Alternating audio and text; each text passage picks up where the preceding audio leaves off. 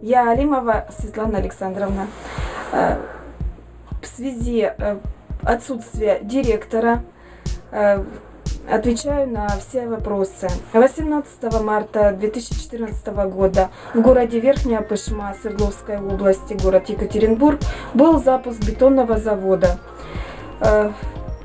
Мы произвели несколько вариантов бетона, то есть в ручном и автоматическом режиме. Э, Бетон вышел качественно, претензий мы не имеем.